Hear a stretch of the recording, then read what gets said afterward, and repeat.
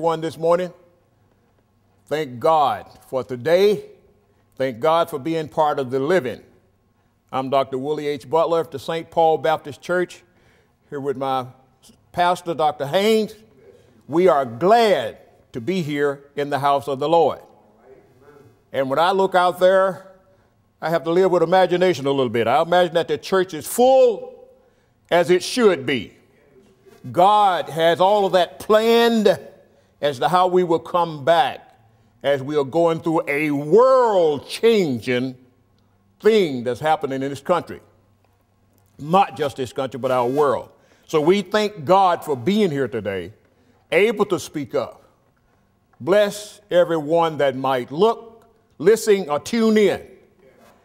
That we hope and pray that you would be blessed. Oh God, our Father in heaven, we thank you for allowing us to be here.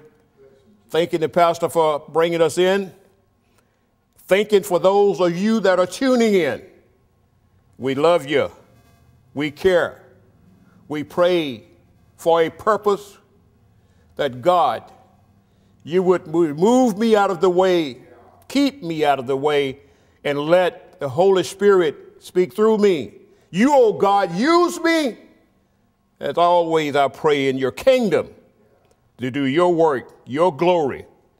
Let the words of my mouth, the meditation unto you, O God, and glorify you, that we would do your will. In Jesus' name we do pray. Amen. On today, we find a couple of scriptures that we would refer to as text being 12, Genesis 12 and Genesis 22. Genesis 12, 1 and Genesis 22, 1 and 2. And Genesis 1, Genesis 12 and 1, now the Lord had said unto Abraham, Get thee out of thy country and from thy kindred and from thy father's house unto a land that I will show you. And then we go all the way over to 22. We find that God is, gets Abraham's attention again. And it came to pass after these things that God did tempt Abraham and said unto him, Abraham, and he said, Behold, here I am. And he said, Take now thy son, thine only son, Isaac, whom thou knowest and who thou lovest, and get thee into the land of Moriah, and offer him there for a burnt offering up upon one of the mountains which I will tell thee of. For this morning, I want to at least lead, try to remind you for some time we are to be tested, challenged, or to really be found out who and what we are really made of. You don't know yourself as well as you think you know you. It is true that God knows us better than we know ourselves. He knows all of your tomorrows. I'll say it again all of your tomorrows. And if you read Psalms 139, you realize that he really knew all of your tomorrows before you even existed. We won't go into that, but we'll get to it one day. Now, in Genesis, the first time that we see that God here have really petitions Abraham, he tell him, uh, look, uh, seem to be too much things going around you right now. I'm going to kind of separate you a little bit. And that's what he do to all of us when we come to him through his darling son, Jesus Christ. When we come to God through Jesus Christ, we are accepting a separation in many ways from this world that we live in. Yes, we are to continue to live in this world, but you got to be very careful as to how much and what and how and when you partake of the worldly activities. For your kingdom is somewhere else. Yeah, you live here.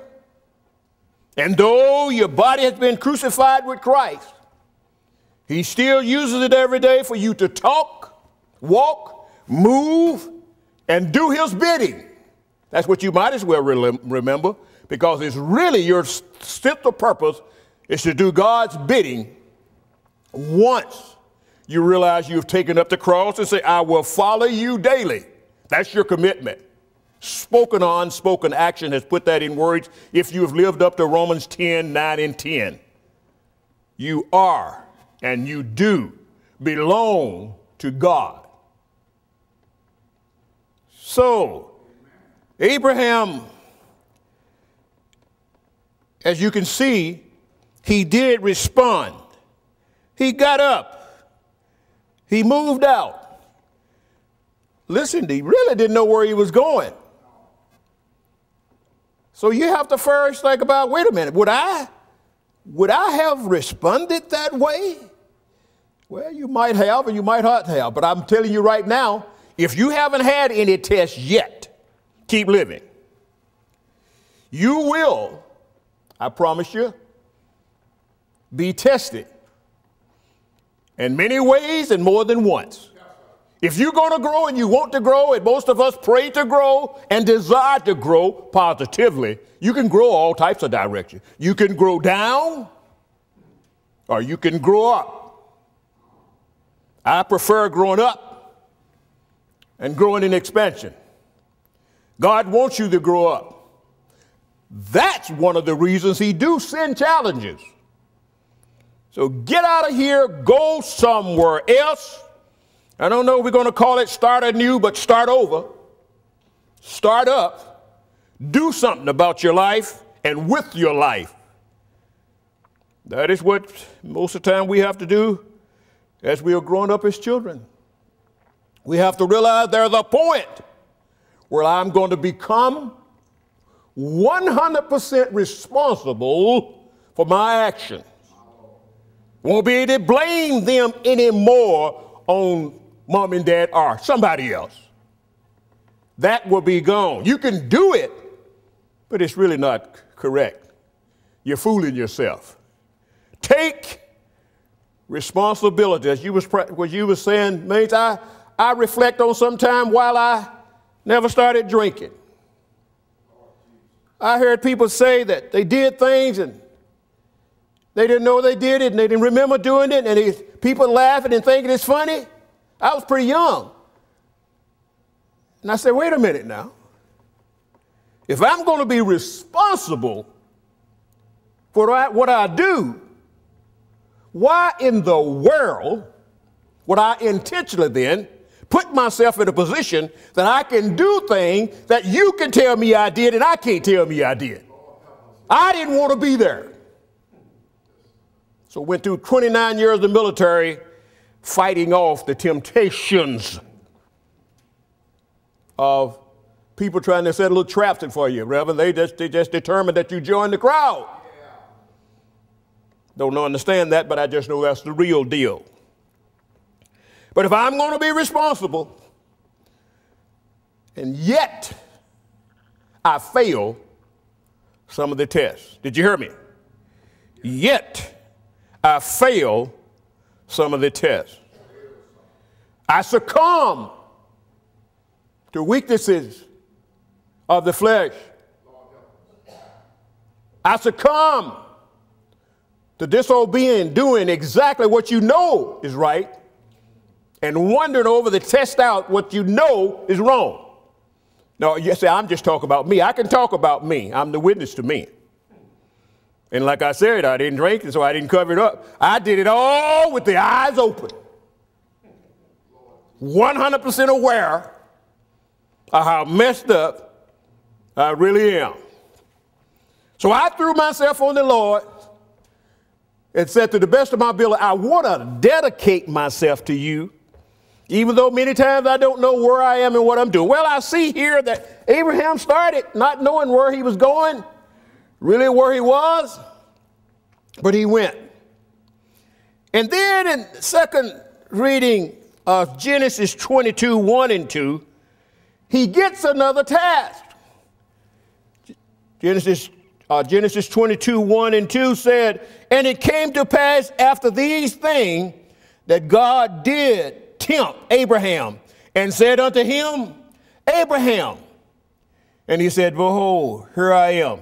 And he said, Take now thy son, thine only son, Isaac, whom thou lovest, and get thee into the land of Moriah, and offer him there for a burnt offering upon one of the mountains that I will show you.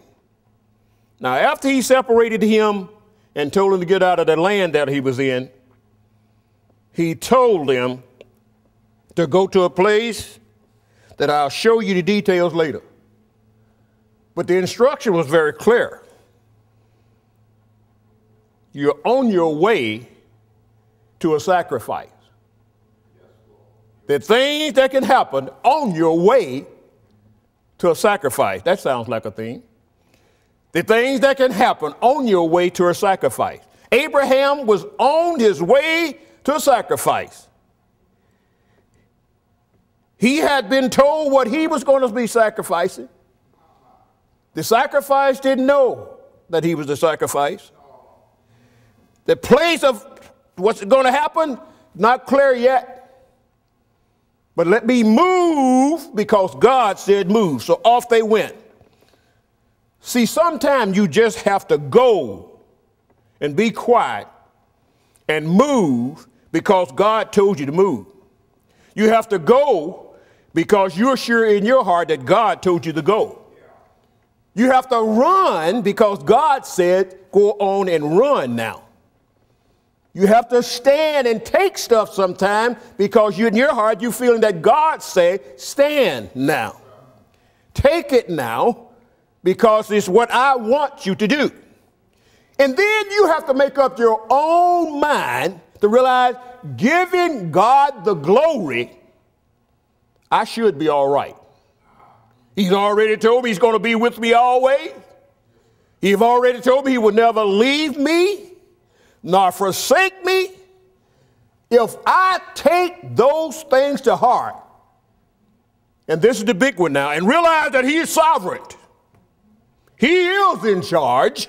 When we forget and think we are, or act as if we are, He is in charge. So he takes off, moves out, and he got going up the side of the mountain. Took a few other people with him took his son just like God told him, cut some wood and moved out and up, cross to plains. Now, as they go up into the mountains, can you imagine some of the things that was going through this father's mind? Can you do that with me just a little bit? I know you can if you have a son. I know you can't if you have a son. I know you can't if you have a daughter. I know you can't if you have someone you really, really love. Just like he said, I know you love that only child. But I require of you today to give him to me. Now, if he's sovereign, we have to believe he know what he's doing. I didn't say that was easy. I didn't say how well you handle it, but I do and will tell you, you need to handle it. I didn't say it would be easy. But you better realize that you can handle it because he's also already told you, I will not what? Put more on you than you can. Okay, I thought somebody would be able to finish that for me. Now, do you take him then? It all comes down to trust and faith. See, you can't have faith in him, according to the scripture, unless you first believe that he what? Is. You have to believe. There is not no Darwin process. There is no evolvation from amoeba. There is no evolvation from uh, ape, gorilla, monkey, whatever you want to call it. God is the creator. Have you accepted that? Are you still fooling around with the other stuff that they try to put into your head? You have to decide where you stand because it's going to make a difference as to how you stand your test. You have to think about a few people now. Think about the one that we all remember seemed to be the first was Noah. Told to build an ark that's going to come rain. And way most people have interpreted the Bible there, there had never been a rain. He watered the garden, we know, by dew at night. Then there was Job. Didn't know what was going on. Then two, but two people know what was going on with Job. See, we get to peep in now after the story. But when it was going on, then but two people know that was God and Satan. Yes, God uses Satan, allows Satan to be part of some of the drills and tests he put you through. It can't get worse than that, by the way. But then there was Hannah, who was childless. She prayed a sacrifice unto God that I'd give you my son if you would just give me one. And she had to live up to that when it came time. And she did pass the test. But don't talk about how you think it was easy for her. or she had promised the Lord, so she just took the child there and left it. Can you imagine how many times she thought about turning around and getting that child? Uh, going and get that child. If you have any type of imagination, you shouldn't have any problem thinking of that. Then Paul Joseph. Look at all the turmoil and life he went through. Maintained his faith through the process. I don't know if I would have passed that one either. But that one wasn't required of me. It was required of Joseph. And he let them brothers know later on, you meant it for what? Evil. But God blessed and made it for good. Because you really can't figure out what God is doing anyway, why don't you just go with God anyway? The reality is, you really going to go with Him fighting and kicking or walking and talking. You're going. Be aware of that. You are going with God. Then there was Moses, poor fella. Sometimes you can't help but feel sorry for him. 40 years as a prince in a palace, got it made. Conscience bothered him. Something that he didn't even know really himself, but he was finding out through God's providence. Acted on it. Had to go into exile for another 40 years. And then God gave him his mission and his challenge. And boy, was this one. Don't know if I would have made that one either. But if Moses, the one God chose, did. And that's why we know about him. What about God's, one of God's most chosen one we feel, I feel, David? Just flat out blew the test, guys. He got wrapped up into Bathsheba when he had been personally, now listen, had been wrapped up in God basically all his life.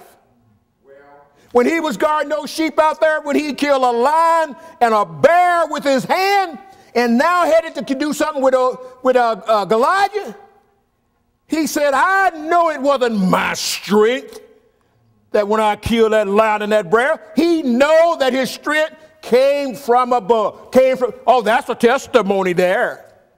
But that also gave him victory there, what he was fixing to do. He knew where his power stem was. And yes, he went through, but yet he get all carried away And it took a little old man like you, just a God man, to walk up and say, King, King, I got to tell you a story about this guy who had a whole bunch of sheep himself, but he had to take this one man, didn't have a one. He took that one. David's getting a little upset. And he said, uh, don't, don't, don't get too upset yet, David, because that is not all the man did. He said, What do you mean? Oh, no, after he took the man's only sheep he had, he killed the man. That David tore his clothes and that person deserved to die. Not knowing he had just sentenced himself. He was the king. He said he deserved to die. He could have had his own orders carried out. God, God, only God. And poor Job, poor Job, poor Job. Yeah, he took that child by Bathsheba, the first one. A lot of you probably don't think about it, but you know who he gave, who he replaced that child with? Solomon. You couldn't trade those two. We couldn't. God did. And then he worked it out. So it comes down to trust. So let's go up the side of this mountain and get this over with here. So it gets up there. Abraham tells, okay, look, God just revealed to me which, which peak he wanted on, what bubble he wants up there. The rest of you guys stay right here. I'm going to take my son here and the, and the donkey, mule, ass, whatever you want to call him. We're going to go up a little further and pull this off. Still didn't have no other answer from God except the first command. He was take your son and sacrifice him to me. Boy, I would have been looking, said, okay, God, okay, yeah, I don't, I don't, I done been obedient. I done got this far. Come on now. Get, uh, ah. That's what you're doing when you're going through and you start complaining. God, do you know what you're doing? I dare you. Yeah, he know what he's doing. Just asking for more strength because sometimes you do need it. so he gets there and they went. And after he told them to wait here, you need to understand, he did one of the biggest things he could do on that mountain. He said, you go and read it for yourself, you all stay here, but we will be back. See, he made that statement in faith. He didn't know that God was going to do it that way. But that's what you're supposed to pray in faith that you believe and hope and pray that it comes out this way, God. But however, you need to be able to say at the end of those prayers, but Lord, whatever your will is, prepare me to handle it. Did you hear me? You have to be able to say it. You have to be able to say it. Now, watch how he took the test. So he goes all the way and then poor little Isaac, the sacrificee, speaks up. Uh, Father, uh, I, I, he was a little concerned, you could tell. I, I, I see the word. I see we either about to build a fire, done build a fire, whichever, won't go there. But I just really don't see the lamb that we plan to put up on this wood. Abraham made the second statement God will provide. When you say that, don't say that as a cliche. Say it because you know what you're talking about and you believe what you're talking about, and that's a declaration to the sovereignty of God, your faith, your stand, and your belief. So he put him up on that like a wood. Now, I have a feeling by this time, Isaac might have been a little dense. I don't think so, but he might have been just a little dense that he allowed himself to put him on that wood and still acted like he didn't know what was happening. Guys, let me tell you something. You laying on a pile of wood tied up and the fire's going under the wood, I think you get the idea. I just really think you get it. I, I, I, I just think you get it. And then Abraham had not finished his test. And you say, whoa, whoa, wait a minute, what else? Because the sacrifice hadn't happened. So he raises his hand. We don't know if it started down or not. But God said he did raise his hand. And when God looked in Abraham's heart, which you can't do, you can't even look in your own heart that deep. Now remember that you can't even look in your own heart, let's more somebody else's, that deep. Get that now. When God looked at his heart, he knew. He, he declared it. I, I'm not add words. He declared it. I know now that you trust me and believe to the depth that you got it all the way. Abraham, you got it right. Stop. He, he, but God had to see what we can't see. Remember that. That's what the test is about. God had to see what we can't see. See? and then behold, they look and there is a lamb tangled in the bush. I don't believe Abraham had seen it before then. And I certainly know that Isaac would not have asked that question if he'd have saw that lamb, because he'd have been down there getting that lamb out of that bush. So will I. I don't care if that lamb would have been a perfect no blemish by the time I ripped him up a little bit, dragging him out of them bushes. okay? But he went on. Now, you see, see, I go this far. God could have made that lamb appear there and probably did, but I ain't going there. I don't have to prove that. Because God can do it any way He chooses to do it. If He made the first lamb, what do you think about a few more? All you have to do is put it in front. Now, if you believe Darwin needed to climb up there and make another lamb, you had a problem. Please keep those in order. And God gave him a sacrifice.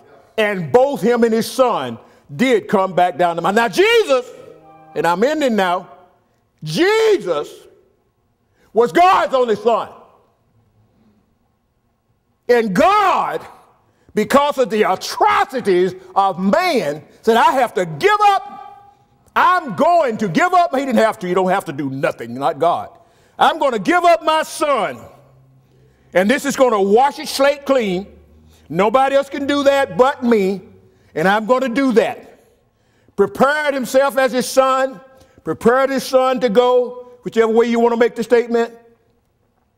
And Jesus comes down, and you got to take Jesus' moment of laying looking at the wood when he was in the garden. God. Just, just imagine just the Isaac movement and Jesus. If, if there's any way around this one, uh, can, we, can, we, can we talk about it? God, uh, uh, I know, I know, I know we got it. Oh, oh, God, I know we like it. But listen, this, this one, even I, however, you talk about a run-on sentence, uh, but if it's your will, that's the way you got to end those prayers. That's the way you have to put the, if it's your will, and he knew it was, thine will be done. Can you continue to praise God in the midst of your storm? You're going to have your storm. Rain going to come, billows going to roll, clouds going to rise, storms is going to blow, houses going to fall, people are going to fall. You're going to stumble, but you will not fall. Go all the way. Jesus all the way, and he did not allow anyone to take his life.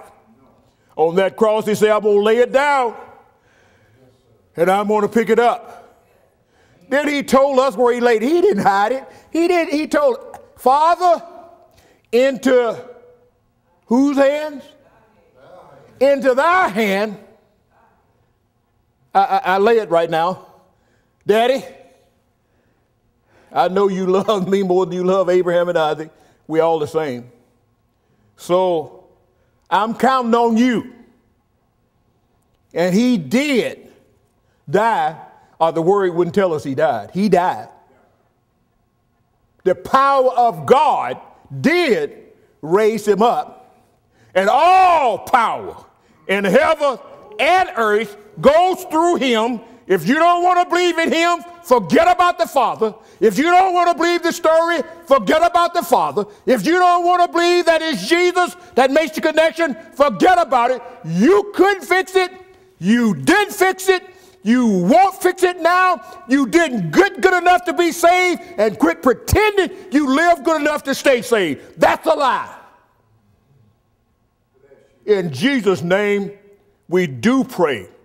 Accept our prayers, our messages unto you, God, and keep us in your care. Let your word be a meditation of people's heart and their spirit. In Jesus' name we do pray. Amen, amen, and amen. Thank you, God. Father, amen.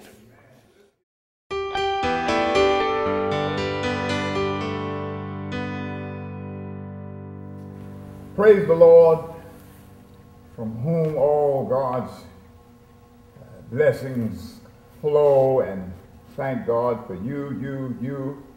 Thank God for the preachers of today, and thank God for this wonderful weather that we're having. Thank God for this local assembly called the St. Paul Baptist Church here in Baltimore, Maryland on the Alameda.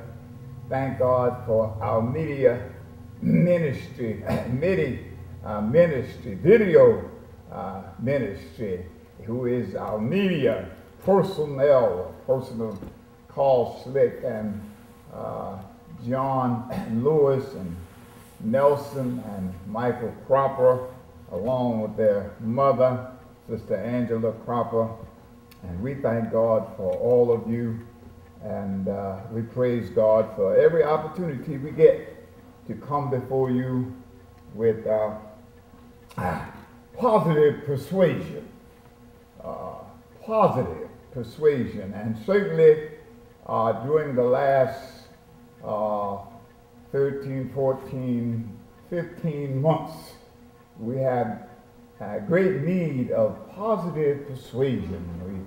We need to continue to understand that the earth is the Lord's, the fullness thereof, and the world that uh, uh, we dwell in. He made it, founded upon the seas, and have established it upon the floods, and he made a people for himself that we would praise him, and it doesn't matter what happened. Uh, the psalmist is so eloquently, he said, I will bless the Lord at all times. His praises shall continually be in my mouth. Oh, magnify the Lord with me. Let us exalt his name together.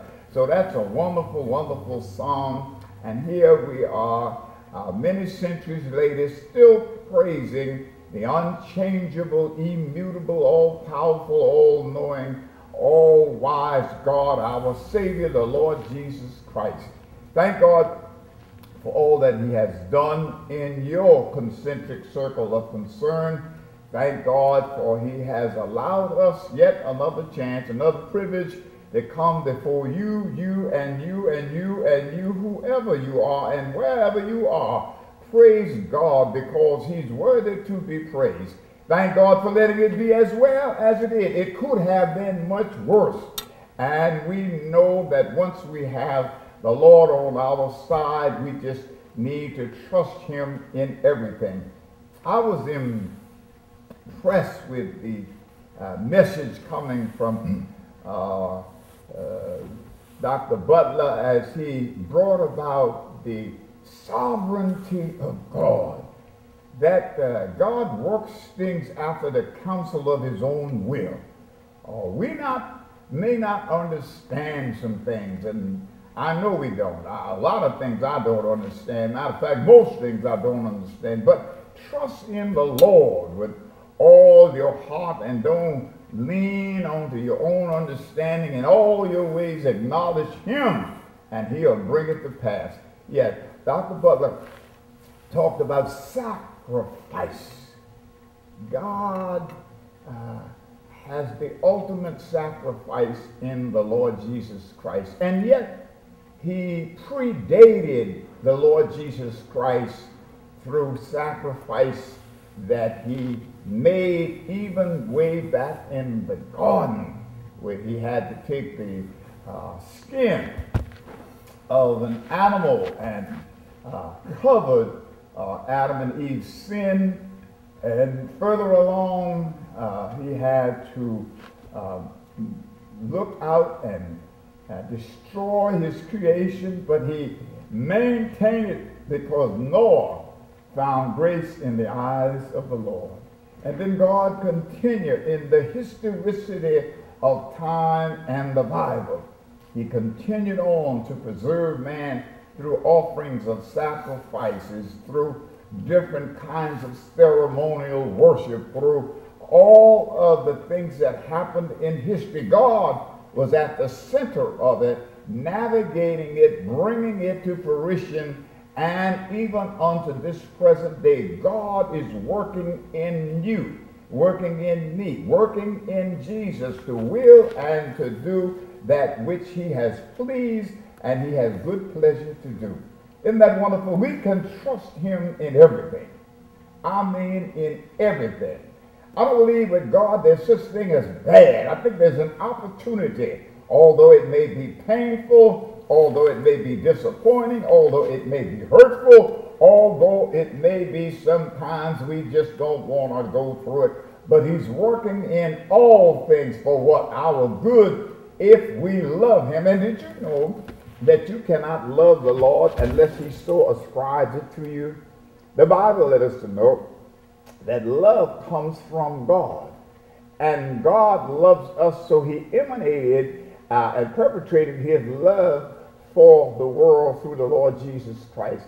And those of us who are children of the King, those of us who have been born again, those of us who have obtained eternal life through the blood of Christ, we have joy in spite of whatever comes our way. We're able. Now, we're just not like the Cheshire cat and we go around smiling because they, everybody tells us it is nice to smile. No, it is nice to have joy. Jesus said the joy that he gives to us, the world does not give. And so we can have joy in the midst of all things. And that's the beauty of it. Jesus is our peace. He is our love. He is our joy. He is our provider. He's our protection.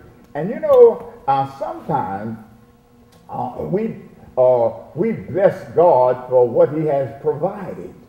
But you know, we need to bless God for the things that he has prevented.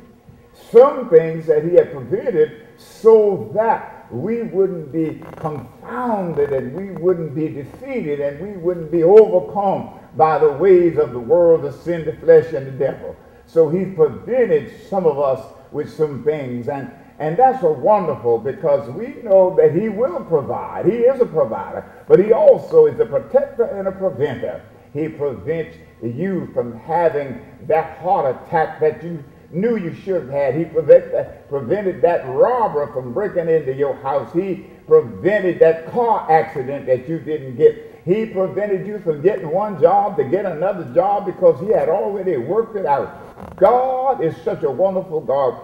And we invite you everywhere, young ones, not so young ones, boys and girls, and all people everywhere, to seek the Lord while he may be found Call upon him while he is near. Let the unrighteous man forsake his ways and the ungodly man his thought and turn to the Lord. And God said that he will abundantly pardon. Isn't that good news? That all of our sins can be cast up behind Jesus, taken and placed in the sea of forgetfulness and never to rise against us again. Isn't that wonderful? Hallelujah. Praise God from whom all blessing does flow. And we thank him because he is our Savior, our King, our Lord, and our God. We give you these words of encouragement, and we hope that they are powerfully persuading you to seek God in the beauty of his holiness. Amen, amen, and amen.